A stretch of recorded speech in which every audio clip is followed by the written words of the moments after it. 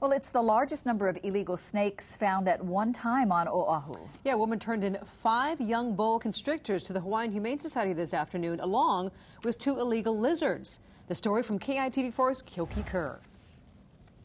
This is the plastic container with five juvenile boa constrictors that a woman dropped off at the Humane Society around 1 this afternoon under the shelter's amnesty program if they got tired of them or just you know enough pressure and they didn't want to keep an illegal animal anymore, that's that's what we're here to do is to take the, the animals without questions asked. These snakes are friendly and docile. Look at how this one approached our camera and was not scared of humans at all.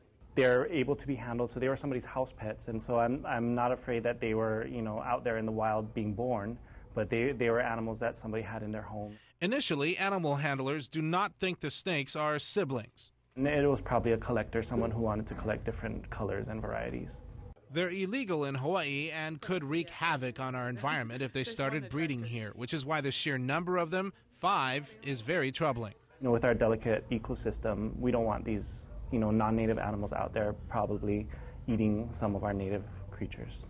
The woman also turned in these two illegal lizards. The larger one is believed to be a savanna skink or perhaps a savanna monitor lizard, which is native to Africa and eats snails and beetles. The smaller one is a blue tongued skink, which comes from Australia and feeds on insects, fruits, and flowers.